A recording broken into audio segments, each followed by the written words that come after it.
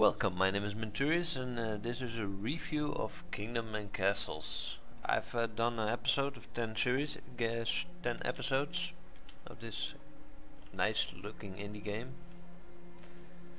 It's uh, it's a pretty easy game and I think it should be a little bit more challenging. Maybe when we go for the 5000 uh, citizens it will get a bit harder but the main problem is food and space to put your people in. So when you put your people on the water like we did in some areas uh, I guess uh, this is a nice example of it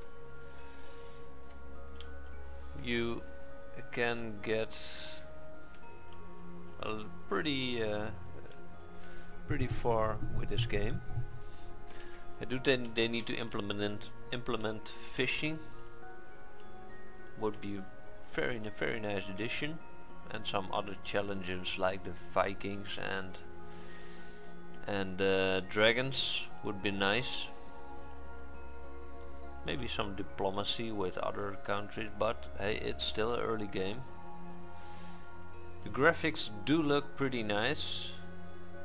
It's it's it's not a high graphic game, but with the style they go for, it's it's a pretty good game, a good looking game, and yeah, it's it's what it says it is. It's a city management game, and it does a very good job at that.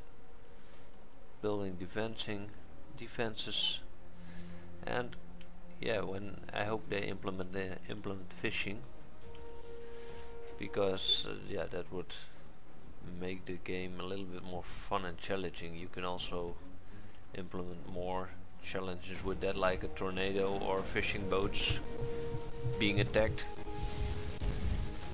But all in all the gameplay is, is good, it's fun. It's, it's not a long game to play but it's uh, it does give me uh, enough satisfaction. So with all, uh, I would give this game a 7 out of 10 rating.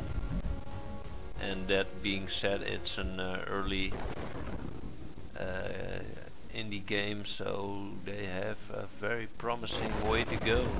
They could go to an 8 or a 9, or maybe even a 10. But hey, we will see maybe we will take another look in the future and uh, see what they improved. Maybe they even seen the review and implement the fishing part. Would be nice. Thank you for watching. Uh, my name is Menturius and uh, this was a review of Kingdom and Castle. Kingdom's Castle getting a 7 out of 10